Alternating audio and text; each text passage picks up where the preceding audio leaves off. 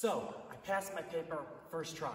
Quite happy about that. I read about it on Reddit. They said it took many attempts, but they, I got it first time uh, for this assignment.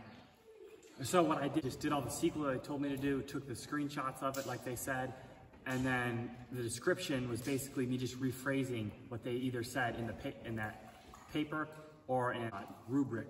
So I just kind of rephrased that so it made sense and they didn't seem to complain. They said it needs to be original, but it was 94% not original. And in this case, it doesn't make sense because it's mostly images. So it, it was fine. So I passed the first try, actually got it back a day early, quite happy about that.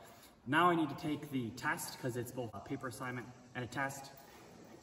So I took the practice assessment, failed it. It's kind of late in the day. I'm not in the best mental space. I took it again and I passed it, just barely, but that's without looking at the questions, so I had no memorization, actually no study. I've studied up a little bit, maybe studied a little more.